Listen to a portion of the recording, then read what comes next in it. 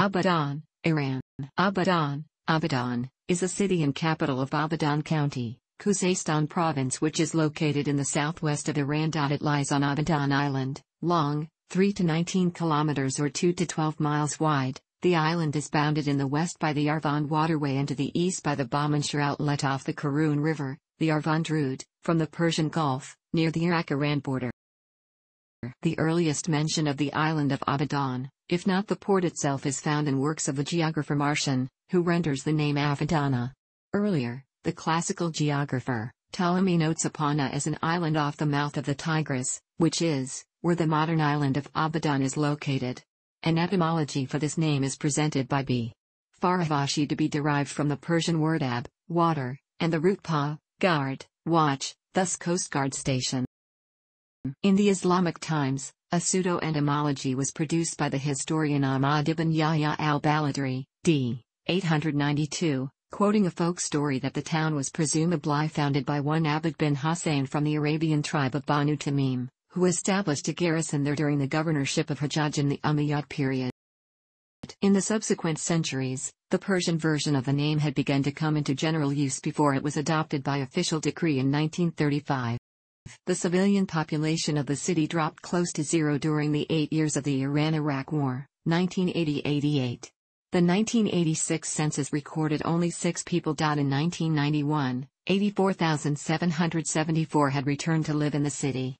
By 2001, the population had jumped to 206,073, and it was 217,988, in 48,061 families, according to 2006 census. Abadan refinery is one of the largest in the world. The population today has reached almost 350,000 people.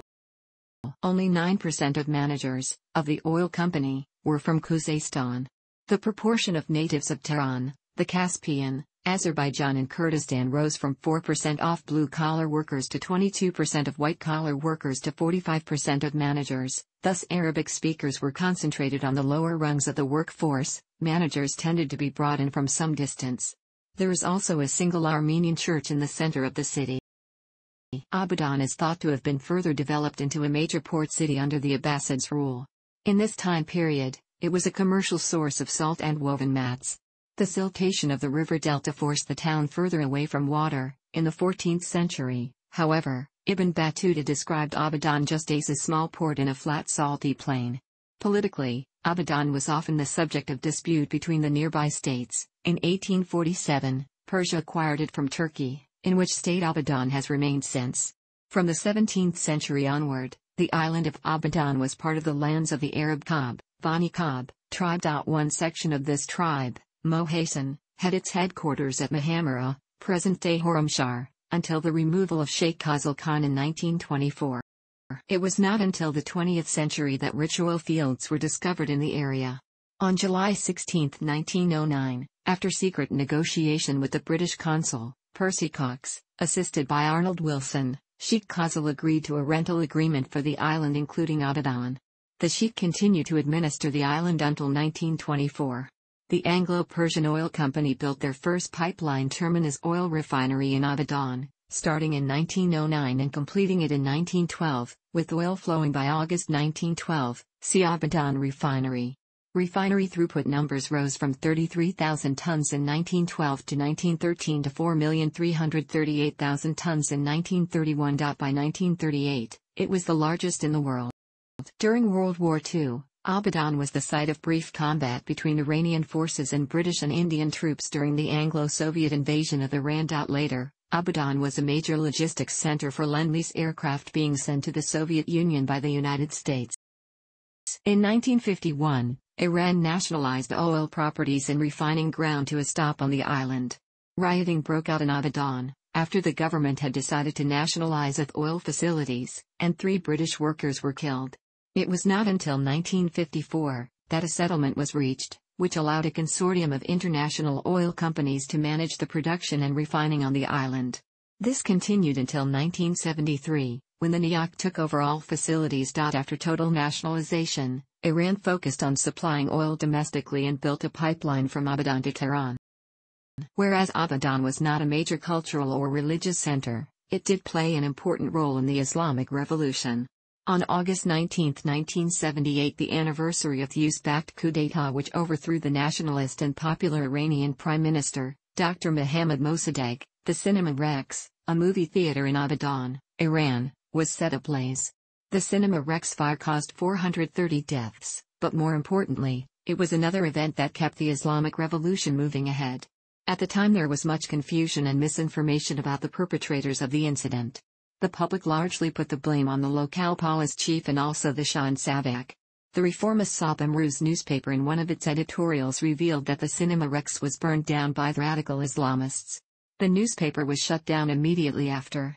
Over time, the true culprits, radical Islamists, were apprehended and the logic behind these act was revealed, as they were trying both to foment the general public to distrust the government even more, and also as they perceived cinema as a link to the Americans.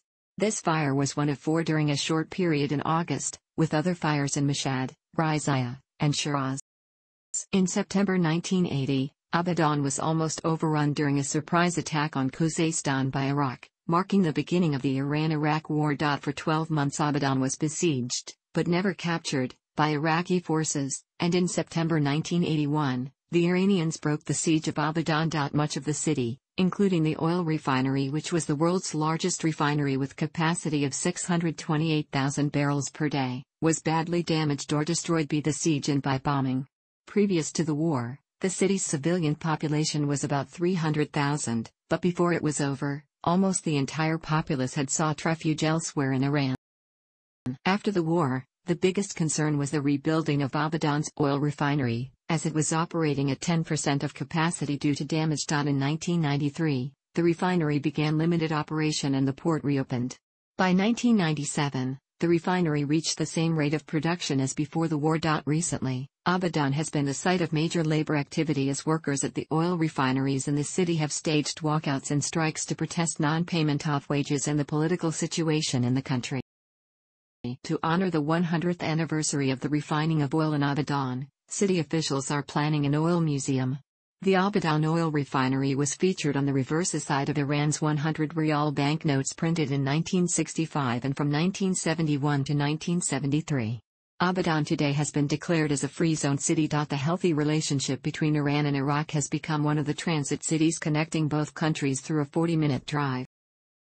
The climate in Abadan is arid, Köppen climate classification BWH, and similar to Baghdad's, but slightly hotter due to Abadan's lower latitude. Summers are dry and extremely hot, with temperatures above almost daily and temperatures above can be almost common. Abadan is notably one of the few hottest populated places on Earth and experiences many sand and dust storms.